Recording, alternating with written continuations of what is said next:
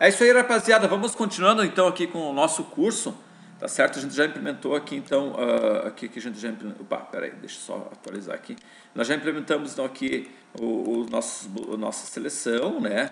E o botão novo. Perfeito, ok? Então o que, que nós vamos fazer agora? A gente vai implementar o, o gravar e o excluir, tá certo? É esses caras que a gente vai estar implementando. Então vamos lá. Vamos, gravar, vamos implementar aqui o gravar.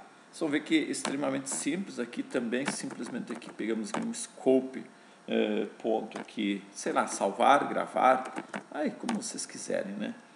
É, function.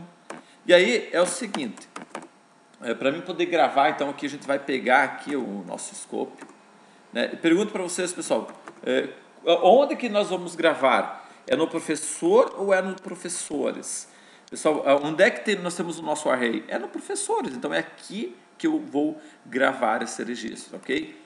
na memória aqui, veja que é professores. O professor aqui, ele, ele recebe que é um apenas professor, certo? Ele recebe um professor que foi selecionado. Então, onde é que eu vou gravar? Lá no professores. É nesse cara aqui que eu vou estar gravando, tá ok? É, para mim gravar, eu vou usar o, o, push.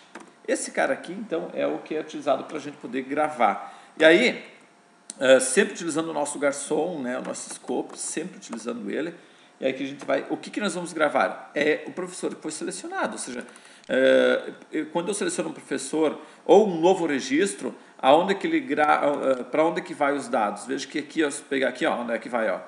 No, vai para professor e-mail, vai para professor fone. Então, é para o meu professor, meu, esse meu objeto professor que vai estar recebendo isso. Então, quem é que vai? É o meu professor.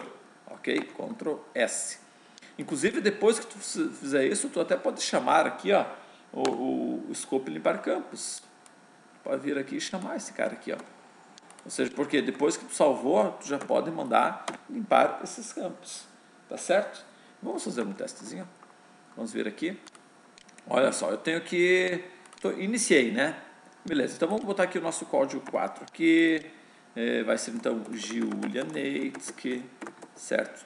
É, Julia, arroba, sei lá, ponto com, certo? Vamos botar um telefone qualquer, vamos gravar aqui e, opa, não gravou.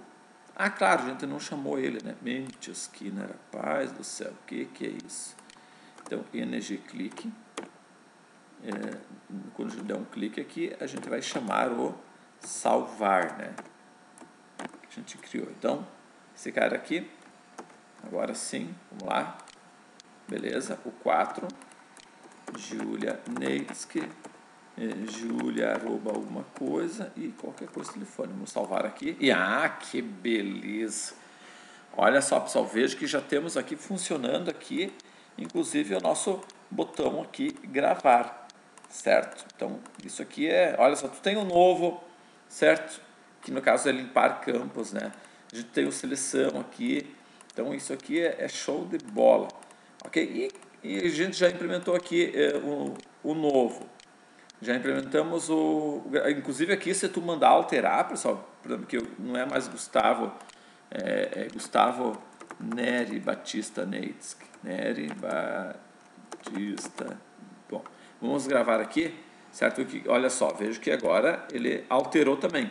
Ou seja, não é simplesmente gravar, tá? Ele vai gravar e vai alterar esses registros. É claro que se eu mandar atualizar minha página, ele atualiza e busca os dados novamente do que eu tenho aqui, porque são, é tudo coisa em memória. Então ele inicializa é, esse meu, meu angular aqui, então ele volta a pegar os dados que eu tinha antes. Tá ok? Eu, inclusive vou botar aqui mais o da Júlia, senão ela vai ver que eu não botei o nome da minha filha aqui, daí ela vai ficar brava comigo. Então deixa eu já botar aqui quarta Julia Neitsky aqui também. Então, olha só. É, vou deixar assim mesmo. Aqui, ó. Tá aqui.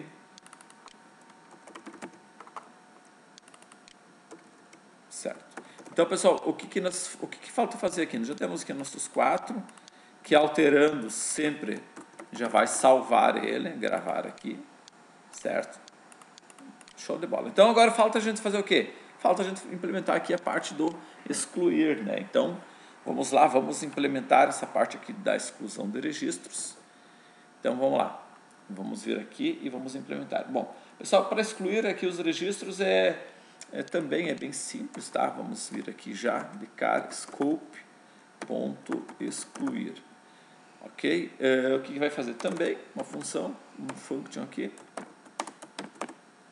E aqui é o seguinte, a gente vai pegar aqui, ó, sempre o nosso garçom, né? Pega o scope aqui, certo? Vamos pegar aqui, da onde que nós vamos excluir agora, pessoal?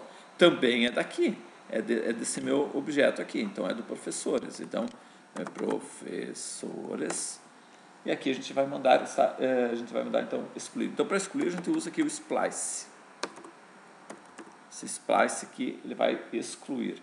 Então, o que, que a gente vai fazer aqui? Deixa eu já botar o ponto e vírgula aqui. Então nós vamos é, fazer o seguinte, a gente vai ir lá, a gente vai pegar o nosso scope e veja que é sempre ele, tá, pessoal? É, como a gente está trabalhando em memória, a gente vai fazer dessa forma. Depois que a gente for trabalhar lá com os, o, o nosso back-end, daí vai ser um pouco diferente essa parte, tá ok? mas tudo bem.